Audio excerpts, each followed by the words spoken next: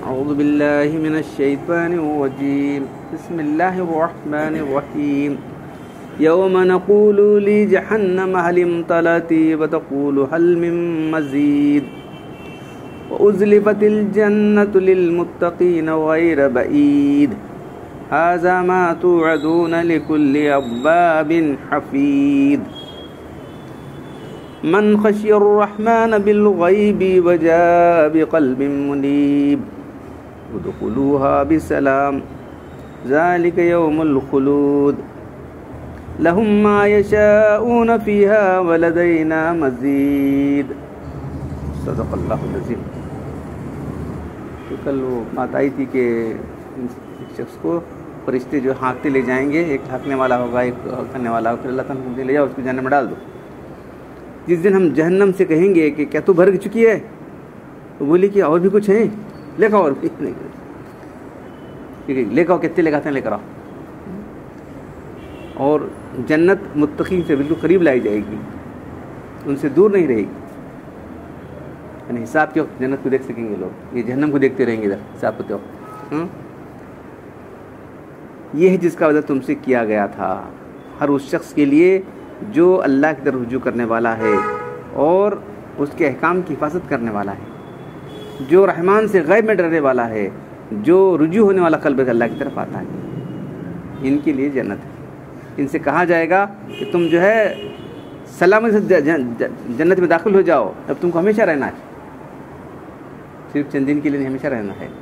और उनके लिए वहाँ वो, जो भी वो चाहेंगे, सब मिलेगा। और उसके अलावा, और मज़ीद हमारी तरफ़ से दिया जाएगा। तो कुरान में हमेशा कंपेयर एंड कॉन्ट्रास्ट जहन्नम का ज़िक्र तो जन्नत का किया था अहले जन्नत, अहले जहन्नम। अब अहले जन्नत का ज़िक्र अहले जन्नत का ज़िक्र किया जा रहा है। यहाँ मैशर के वाक़यात का बकिया बयान है। और वो दिन जिस दिन हम जहन्नम से कुफार को दाखिल करने के बाद उससे कहेंगे तू भर भी गई? कहेगी, अरे कुछ है तो लाओ। ये पूछना शायद कुफार को डराने के लिए। कि जवाब सुनकर इनके दिल दोजक की और ज़्यादा हौल पैदा करेंगे। हम कैसे गज़ब ना ठिकाने पहुँचे हैं जो सबको खाना चाहती है। जहन की तरफ़ हल मिन मजीद, क्या और भी हैं? का जवाब इसी गैज़ गज़ब का मुजाहरा। सूर्य मुल्क में फरमाएगा हुई तफूर उछल रही होगी जहनम तकाद तमयज़ मिल गैज़, गज़ब से फट फट पड़ेगी। काफिरों पर, मुशरकिन पर जहन्नम जहन्नम जो है गुस्से से फट पड़ेगी, ऐसा हो रहा है मालूम आपको। नहीं, मेरा पेट नहीं भरा। और मजीद लेकर आओ। तो फिर अल्लाह ताला कहेंगे, अमल जहन्नम मिन जिन्नात मिल जिन्नत वन्ना से अजमैन मैं भर दूँगा जहन्नम को जिन्नात और इंसानों से। हुँ? और उसके बाद जो है जन्नतियों का बयान है कि जन्नत मुत्तकीन से करीब कर दी जाएगी, कुछ दूर न रहेगी। और उनसे कहा जाए, ये वो चीज़ जिसका तुमसे वायदा किया जाता था। हर उस शख्स के लिए जो रुजू होने वाला अल्लाह की तरफ़, जो पाबंदी करने वाला है शरीत के अहकाम की, जो बे देखे खुदा से डरने वाला है, जो अपना दिल अल्लाह के रुजू करके ले आया है, इसको इन लोगों को हुक्म होगा कि तुम सलामत से जन्नत में दाखिल हो जाओ। ये दिन है हमेशा रहने के लिए। यहाँ तुमको सब कुछ मिलेगा जो तुम चाहते हो। और इसके अलावा हमारी तरफ़ से मज़ीद नियामतें नियामतें तुमको दी जाएँगी। जहाँ तक तुम्हारा जहन भी नहीं पहुँचेगा। तो हदीस में आता ने फरमाया, जन्नत की नियामत फरमाया कि भाई वैसी जिनको किसी कान ने न किसी आँख ने देखा, न किसी कान ने सुना, न किसी के दिल में इसका ख्याल आया है। अब यहाँ अहले जन्नत में से कौन है अव्वाब कौन है? सिफात बयान की जा रही। हाजा मा तो कुल्ल अव्वाब नफीस।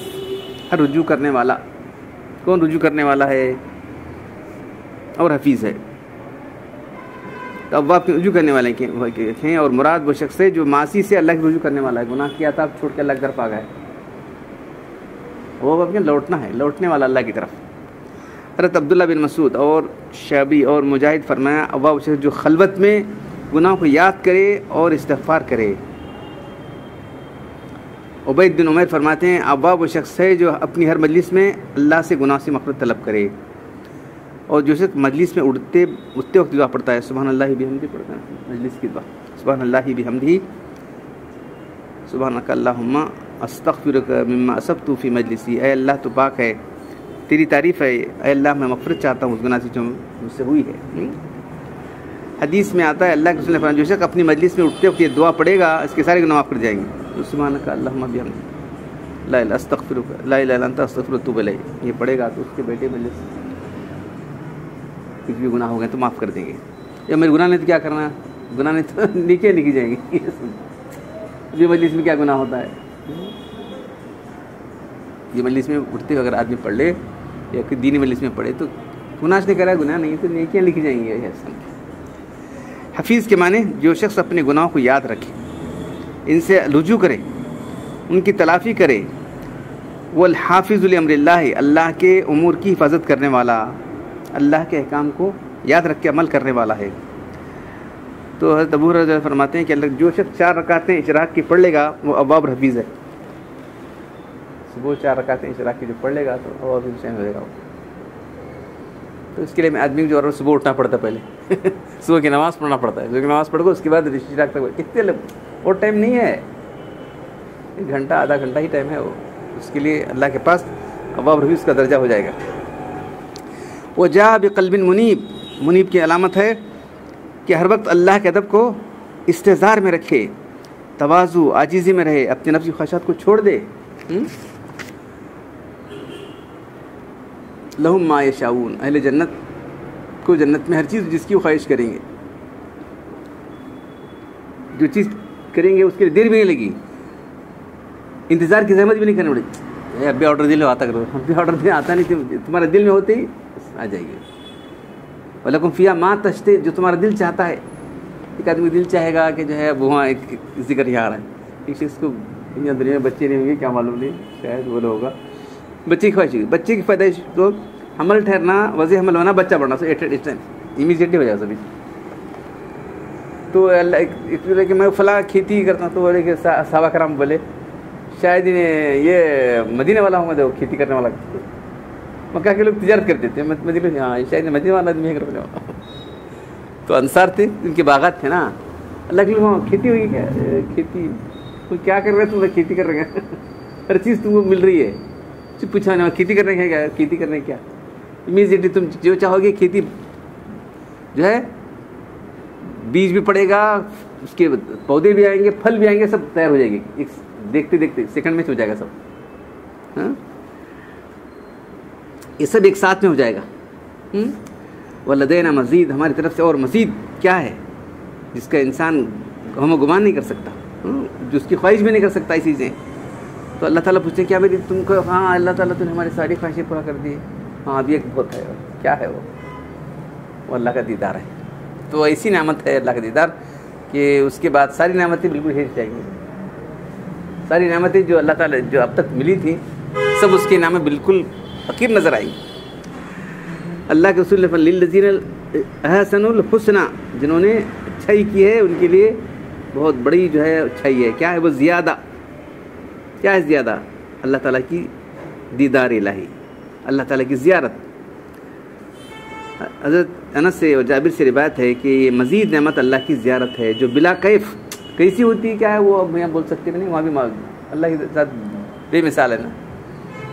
तो अल्लाह के बोलते हैं, क्या तुम चांदनी चौधरी की रात को देखते कुछ तकलीफ़ महसूस करते हो?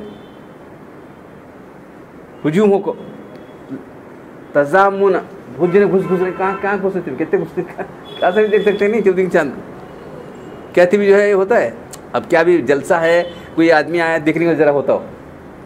मिलना है उसे, देखना है हजूम बहुत है। कोई आता था तो प्राइम मिनिस्टर फलाए थे कौन भी आए जरा हजूम हो जाता। है देखने से मिला जीव नहीं होता देखना मुश्किल है। तो वैसा अल्लाह ताला के देखने में कोई तकलीफ़ नहीं होगी। कोई अड़चन, कोई जो है, रुकावट नहीं होगी। सिर्फ़ तुम चौधरी के चाँद को देखते हो वैसे अल्लाह को दीदार करोगे। अहल जन्नत को ज्यारत सुबह ताला जुमा के रोज़ हुआ करेगी। अभी था कि जो जितना ज़्यादा अल्लाह से खुद रखने वाला उतनी बार ज़्यादा होगी। एक, एक दिन क्या हुआ है कभी सुबह शाम होगी कभी मुस्तकिल होती रहेगी तो ये सब उनके अमाल के बताओ? हम कुरान पढ़ने और अमल करने की तोफ़ी अता फरमाएँ। अल्हम्दुलिल्लाह रब्बिल आलमीन। अला रसूल करीम।